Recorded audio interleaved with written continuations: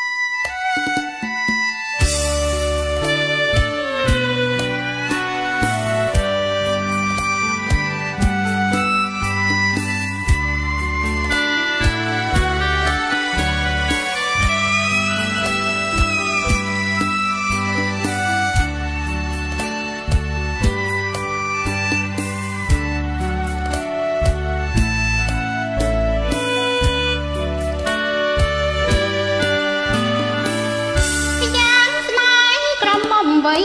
ព្រមចារីការីហើយរយធ្វើអ្វីគ្រប់រូបស្ត្រី មានប្តីមានទុក្ខ